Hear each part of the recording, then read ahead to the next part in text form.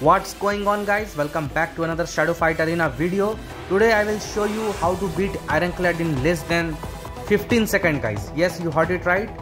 I am playing with Kate. No dialogues here friends. Just action. Watch it. Just closely look at the damage. 6588. Look at this at slow motion guys. If Ironclad was not unbreakable there, not invincible, Ironclad was dead in less than 15 seconds guys. I will show you I will beat this clad only with my shadow energy guys. I am waiting for my shadow energy to be filled guys and waiting to Ironclad to lose his unbreakability or invincibility. Look at that 2463. Because of his invincibility guys he saved again. Again I am waiting for my shadow energy to be filled and waiting for Ironclad to lose his invincibility.